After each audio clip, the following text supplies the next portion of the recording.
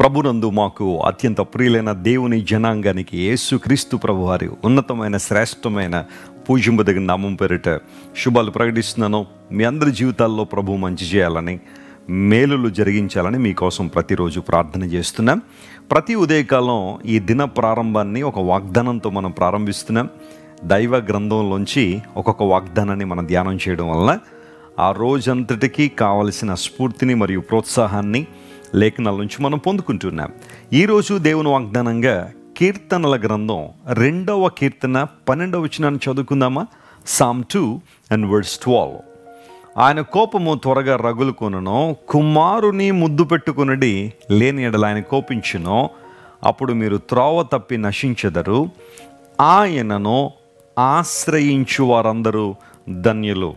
Blessed are all they that put they trust in him రెండవ కీర్తనలో ఒక ప్రాముఖ్యమైన వాగ్దానం ఈరోజు మనం ధ్యానం చేయబోతున్నాం. ఆయనను ఆశ్రయించు వారందరూ ధన్యులు అనే మాట అక్కడ రాయబడింది.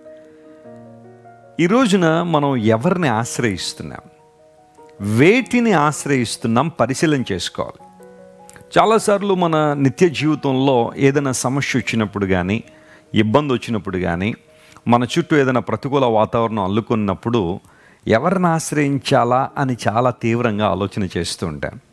రాజకీయవేత్తల దగ్గర పరిగెత్తాలా లేకపోతే లోక సంబంధమైన గొప్ప వ్యక్తుల దగ్గరికి వెళ్ళాలా బంధువులు ఎవరైనా ఉన్నారా స్నేహితులు ఎవరైనా సహాయం చేయడానికి వస్తారా అని మన దృష్టి మన చూపులు చాలామంది వైపు వెళ్తూ ఉంటాయి.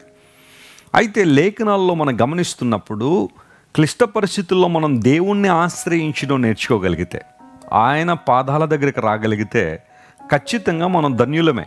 బ్లెస్డ్ అనే మాటను మనం చూస్తున్నప్పుడు హిబ్రూలో దానికి ఎషర్ అనే పదం వాడారు. అంటే కేవలం ధన్యులు అని మాత్రమే కాకుండా బహుగా ఆనందించువారు సంతోషించువారు అనే మాట కూడా అక్కడ కనబడుతుంది. అంటే దేవుణ్ణి ఆశ్రయించేవారు బహుగా సంతోషిస్తారు ఆనందిస్తారు. ఎందుకోసం అంటే ఆయనను ఆశ్రయించి నిరాశతో వెనుదిరిగిన వారు ఎవరూ లేరు. బైబిల్ చరిత్రలో కానీ ప్రపంచ చరిత్రలో మనం చూసినప్పుడు విశ్వాసంతో దేవుని దగ్గరికి వచ్చి నిరాశతో వెనుదిరిగి వెళ్ళిపోయిన వాళ్ళు ఎవరు లేరు. ప్రతి ఒక్కరూ మేలు పొందుకుని వెళ్ళారు. బైబిల్ గ్రంథాన్ని క్షుణ్ణంగా మనం చదివితే దినోత్తాంతాలు రెండో గ్రంథం పద్నాలుగో అధ్యాయంలో ఒక రాజు మనకు కనబడుతుంది అతని పేరు ఆశ యూదా రాజ్యాన్ని పరిపాలన చేసిన మూడవ రాజు. అతడు దేవుణ్ణి ఆశ్రయించినందువలన నెమ్మది కలిగి ఉన్నాడని బైబిల్లో రాయబడింది. ఈరోజు నీకు పరిపూర్ణమైన శాంతి సమాధానం నెమ్మది కలగాలంటే దేవుణ్ణి ఆశ్రయించు. ప్రభు పాదాల దగ్గర రా. కష్టం వచ్చినప్పుడు శ్రమ వచ్చినప్పుడు అటు ఇటు పరిగెత్తాలని అనిపిస్తుంది కానీ ప్రభు పాదాల దగ్గర కూర్చో. ఆయన ఏం మాట్లాడుతున్నాడో గమనించు. ఆయన చిత్తాన్ని నెరవేర్చడానికి ప్రాకులాడు. ఖచ్చితంగా నీ జీవితంలో అద్భుతాలు జరుగుతాయి. ఇంతవరకు లోకాన్ని ఆశ్రయించి నష్టపోయావేమో. ఇప్పుడు దేవుని ఆశ్రయించు. అలా ఆశ్రయించు వాళ్ళందరూ ధన్యులే. ఆనందిస్తారు. గొప్ప దీవెన పొందుకుంటారు. దేవుడు మీ జీవితాల్లో ఈ రోజంతట్లో గొప్ప కార్యాలు జరిగించాలని మీకోసం ప్రార్థన చేస్తున్నాను. మీరు కూడా కళ్ళు మూసుకోండి. ప్రార్థన. ప్రేమగల తండ్రి నిన్ను ఆశ్రయించు వారందరూ ధన్యులన్నీ వాక్యంలో మీరు వాయించారు అవునయ్యా. విశ్వాసంతో నిన్ను నమ్మిన వారిని వెనడు విడిచిపెట్టలేదు.